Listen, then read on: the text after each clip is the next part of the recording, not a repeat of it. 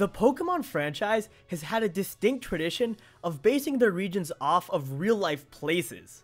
For instance, generations 1 through 4 were based on specific parts of Japan. In Generation 5, they moved over to New York and based the Unova region off the metropolitan region there. Finally, of course, we had Kalos, which is based off of France. So naturally, ever since the announcement of Sun and Moon, people have been asking what part of the world these games will be modeled after. Well, if you ask me, given the information we have right now, I'd say by far the best bet is Southeast Asia, specifically Singapore and Malaysia.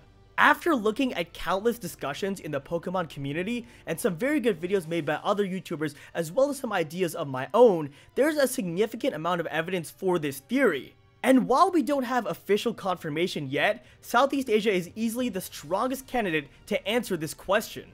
So in this video, I'm going to be telling you all why I think the region for Pokemon Sun and Moon will be based on Southeast Asia and also discussing the prospect of going back to previous regions in this game.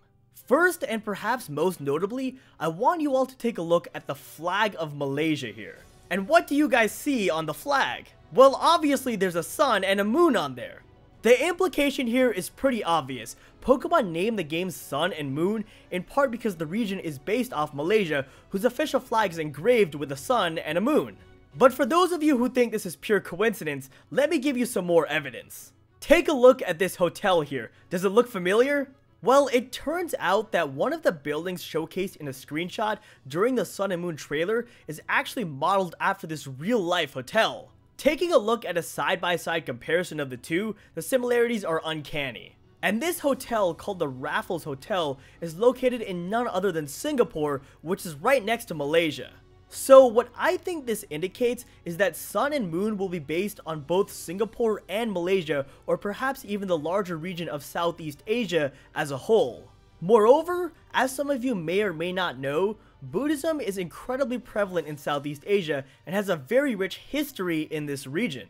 Buddhism, which originated in India, thrived and flourished in Southeast Asia more so than any other region in the world. Now, it turns out that the moon is a fairly significant symbol in the Buddhist religion. Specifically, almost every outstanding event of the Lord Buddha's life took place on a full moon day.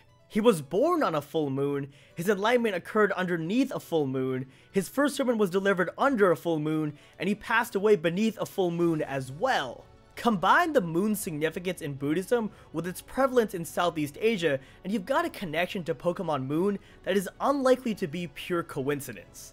Finally, once again going with the theme of religion here, Islam is actually fairly prevalent in Southeast Asia as well. Specifically, 61.8% of Malaysia practices Islam, which is three times more than the next largest religion in the country in Buddhism. And guess what the symbol of Islam is? A crescent moon and star, which I claim is analogous to the version names of Pokemon Sun and Pokemon Moon. Again, we observe a connection between Pokemon Sun and Moon and yet another religion that is incredibly prevalent in Southeast Asia. In my eyes, this can't be pure coincidence. So to sum things up, I think there's an incredibly high chance that Pokemon Sun and Pokemon Moon will take place in a region based off of Malaysia and Singapore, as well as maybe perhaps a few more surrounding areas. Moving on, let's go ahead and talk about the prospect of potentially traveling back to an older region in Pokemon Sun and Pokemon Moon, since a lot of people in the Pokemon community have been proposing this possibility.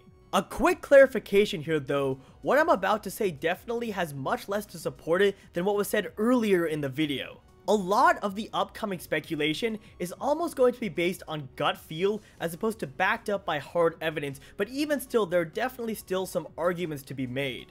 Now, first of all, if you guys recall from the trailer, the following words were said right before they announced Sun and Moon. It all comes together. Now, in all likelihood, this is probably just a reference to the skills and experiences of developers working on the past Pokemon games.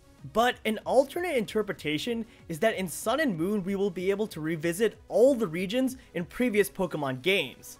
In my eyes, this is a rather exaggerated claim, but I won't deny that it at least has some merit to it.